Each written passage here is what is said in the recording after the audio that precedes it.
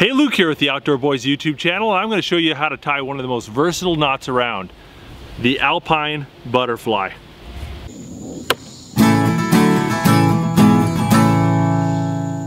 The Alpine Butterfly Loop is a great knot for putting a secure loop in the middle of a rope. It's an alternative to the figure eight loop knot or the surgeon's loop. And one of the benefits of this is that it doesn't collapse under great pressure. It's a very secure, strong knot. Additionally, it's really easy to undo, which is always great when you're putting knots in valuable rope. The Alpine Butterfly Loop has a close cousin called the Alpine Butterfly Bend, which is for attaching two pieces of rope together. Its main advantage is that it's a lot easier to undo than like the fisherman's bend or the water knot. So I'm going to show you how to tie the Alpine Butterfly Loop, the Alpine Butterfly Bend. Additionally, the Alpine Butterfly Loop, there's three different methods for tying this knot. There's the twist method and there's two different versions of the hand method. Each one kind of has its pros and cons and some people find one method easier to learn than the other. So I'm going to show you all three methods and you can figure out which one works best for you. Additionally, I'm going to show you some great applications for this very versatile knot.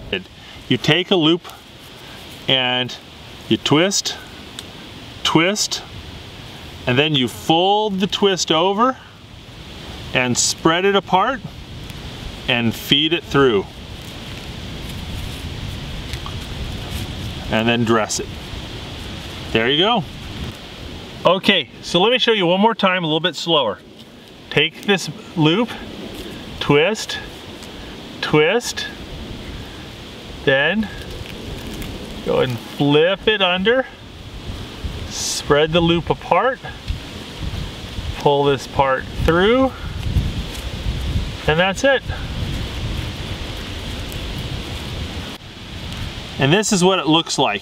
Should be nice, even right here, symmetrical here, and then crisscrossed there. And they call it the Alpine butterfly because it kind of looks like this little butterfly pattern. Alright, let me show you the hand method for tying the alpine butterfly loop. You wrap the rope three times around your hand. You reach under, grab the middle strand, pull it out a little bit, pull it over the other two strands, under and out, forming a loop. And that's it.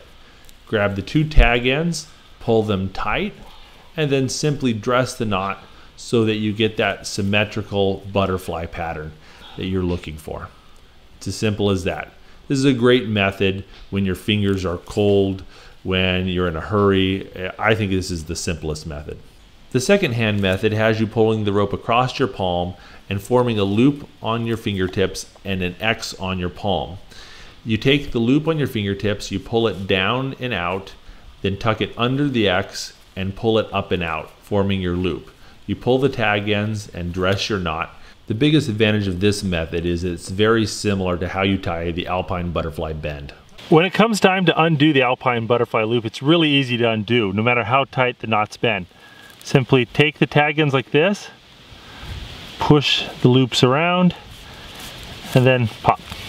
The Alpine Butterfly Loop is great for making pulley systems, for making mechanical advantages, and for making loops that you can get back without having to climb up a tree. All right, let me show you one of the great uses for the Alpine Butterfly Loop. It's great when you want to attach your rope to something and then not have to go back to retrieve it. So let's say you attach your rope up to a limb on the top of a tree. You don't have to climb up the tree to get your rope back.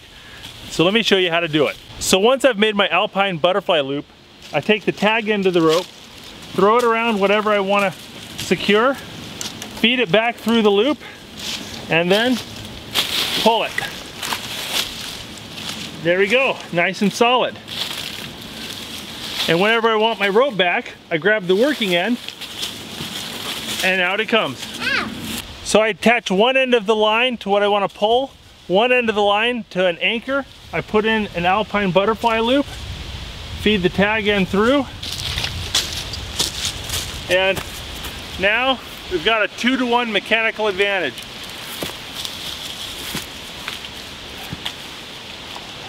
The Alpine Butterfly Loop is really good for making points to attach carabiners or for creating handholds and ropes. All right, let me show you the Alpine Butterfly Bend. it's almost exactly the same knot, but instead it's used to attach two different ropes together in a way that you can get apart. And if you look at the knot, it looks just like the Alpine butterfly loop. When it's all dressed up, it looks the same. So let me show you how to tie it. Okay, now let me show you the Alpine butterfly bend. This looks a lot more complicated than it really is. It is just two interlocking overhand knots.